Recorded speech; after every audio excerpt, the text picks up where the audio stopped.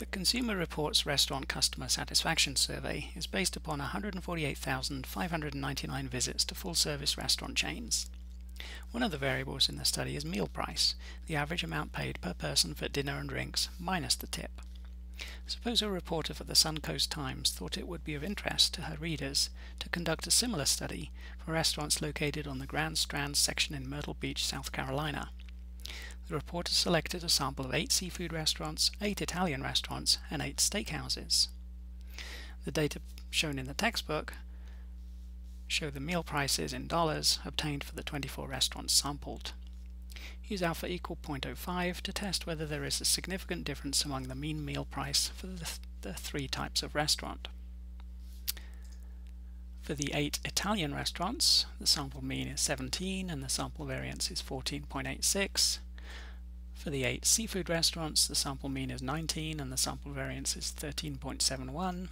And for the eight steakhouse restaurants, the sample mean is 24 and the sample variance is 14.00.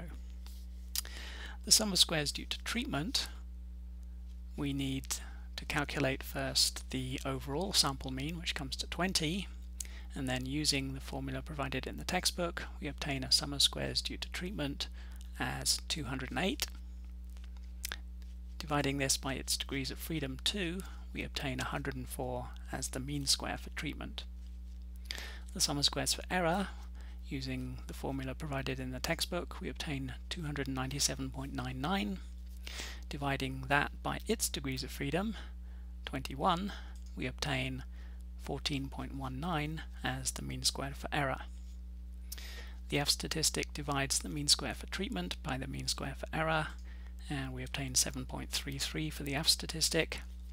And then to find the p-value corresponding to that F statistic, we need to look up an F distribution table, and we're going to use two numerator degrees of freedom and 21 denominator degrees of freedom.